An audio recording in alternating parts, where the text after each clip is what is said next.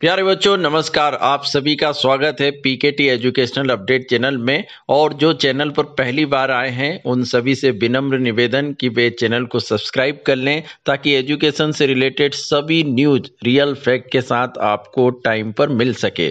तो स्टूडेंट्स काफ़ी वेट कर रहे हैं कि कब इस साल हमारा सिलेबस रिड्यूस होगा ब्लू कब आएगा, क्योंकि अभी तक एमपी बोर्ड की तरफ़ से ना तो ब्लू घोषित किया गया है। दो हज़ार के लिए ना ही रिड्यूस सिलेबस भी घोषित किया गया है कि कितने परसेंट इस बार कम होगा, क्योंकि सीबीएसई ने भी इस साल स्टूडेंट 2021-22 के लिए अभी जुलाई में ही पूरा एग्ज़ाम पैटर्न भी तय कर दिया और 30 परसेंट कोर्स भी रिड्यूस कर दिया है पिछली बार की तरह ही, और एग्ज़ाम पैटर्न में भी इस बार ये कर दिया है कोरोना को देखते हुए कि साल में दो बार एग्ज़ाम लेगा सीबीएसई, एक मल्टीपल चॉइस टाइप के एग्ज़ाम में नवंबर, दिसंबर में और दूसरा मार्च, अप्रैल में रिटर्न एग्ज़ाम होंगे। तो एमपी बोर्ड अभी तय नहीं कर पा रहा है कि किस तरह एग्ज़ाम लेना है कोर्स रिड्यूस को लेकर क्या अपडेट है, वो मैं यहाँ पर आपको बता रहा हूँ। तो पूरा वीडियो आप लोग ध्यान से देखिएगा। नौवीं से बारहवीं तक का पंद्रह प्रतिशत सिलेबस कम करने की तैयारी हो रही है। हालाँकि पिछले साल एमपी बोर्ड ने सीबीएसई की तर्ज पर ही उसी की तरह जो है वो पूरा थर्टी कोर्स रिड्यूस कर दिया था। कुछ सब्जेक्ट में उससे ज़्यादा भी हो गया था। और इस साल आप सभी को पता है, जैसे कि एमपी बोर्ड में अब पूरी तरह कक्षा पहली से लेकर बारहवीं तक जो सीबीएसई की बुक्स चलती हैं एनसीईआरटी की जो बुक चलती हैं, वही बुक अब एमपी बोर्ड में भी फॉलो हो रही हैं। पूरी बुक जो है कक्षा पहली से लेकर बारहवीं तक सभी सब्जेक्ट की।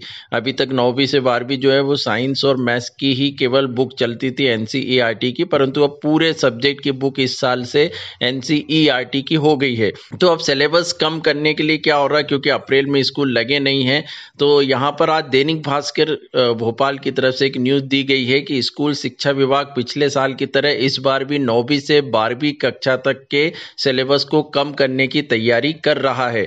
इसके लिए विभाग में दिन रात कवायद चल रही है। माध्यमिक शिक्षा मंडल और आयुक्त लोक शिक्षण के दफ्तर में इस पर काम किया जा रहा है। इसे सिलेबस सिंक्रोलाइजेशन कहा जा रहा है। मुख्य विषयों के विशेषज्ञों से सुझाव भी मांगे गए हैं।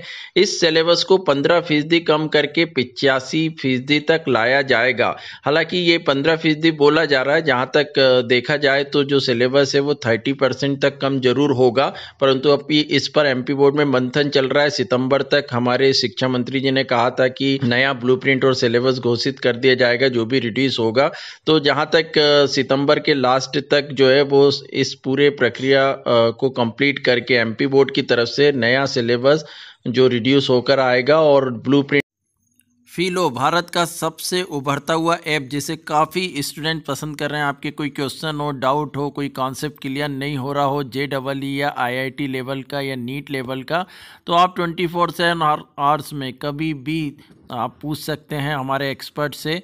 आप जो भी सवाल पूछना चाहें उसकी फ़ोटो खींचकर आप सीधे भेज सकते हो लाइव वीडियो के माध्यम से भी सवाल को पूछ सकते हैं। बहुत इजी स्टेप में आप इस ऐप को डाउनलोड कर सकते हैं।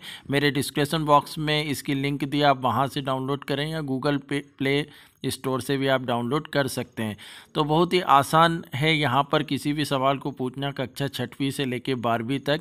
हमारे काफ़ी अच्छे एक्सपर्ट हैं और जो लाइव आपके आंसर क्वेश्चन में आप कहना चाहते हैं कि बल्ब की पावर कितनी है? अगर बल्ब जो है वो 220 वोल्टेज पर ऑपरेट हो रहा है राइट इस बैटरी का जो वोल्टेज है वो आपको गिवन है 220 तो ये आपको सिंपल रिलेशन हो गया यहाँ पर। अब अगर एनटीपी घोषित कर दिया जाएगा, क्योंकि फिर स्टूडेंट्स को तैयारी भी करना रहती है और इस साल एग्ज़ाम होना ये कंफर्म है और उसके लिए भी पूरी गाइडलाइन जो है वो एमपी बोर्ड की तरफ़ से जारी कर दी जाएगी। तो अभी पंद्रह फ़ीसदी की बात हो रही है, पर जहाँ तक ये थर्टी परसेंट जो है वो कर दिया जाएगा तो इसके लिए पूरी तरह से जो है वो काम एमपी बोर्ड की तरफ़ से किया जा रहा है। तो विभाग ने आधिकारिक तौर पर सिलेबस का खुलासा नहीं किया। पिछले साल सीबीएसई की तर्ज पर। 25 फ़ीसदी सिलेबस कम किया था, इस बार भी लॉकडाउन के कारण अप्रैल में नया सत्र शुरू नहीं हो सका था। तो ये बात तो तय है कि एमपी बोर्ड की तरफ़ से अब रिड्यूस सिलेबस पे काम चल रहा है और जल्दी स्टूडेंट्स सितंबर के लास्ट तक या अक्टूबर फ़र्स्ट वीक तक आप लोगों को नया जो रिड्यूस सिलेबस है वो घोषित करके बता दिया जाएगा और ब्लू भी आपके लिए जारी कर दिया जाएगा। तो इस पर मंथन चल रहा है कि कितने परसेंट सिलेबस को रिड्यूस किया जाए, पर सिलेबस रिड्यूस होना कन्फर्म है क्योंकि सीबीएसई ने भी कर दिया है। अभी भी जो क्लासेस हैं, वो पूरी तरह से स्कूल में नहीं लग रही है। दो दिन या तीन दिन लगी हैं। अब जाकर हमारे मुख्यमंत्री जी ने आर्डर दिया है कि आप नौवीं से बारहवीं की कक्षाएँ रोज लगा सकते हैं। तो उसको देखते हुए देखते हैं कि अब एमपी बोर्ड कितना सिलेबस को रिड्यूस करता है। फिर जैसे ही अपडेट आती है स्टूडेंट्स मैं चैनल पर लेकर आता रहूँगा। तो चैनल से जुड़े रहिए। Thank you thank you so much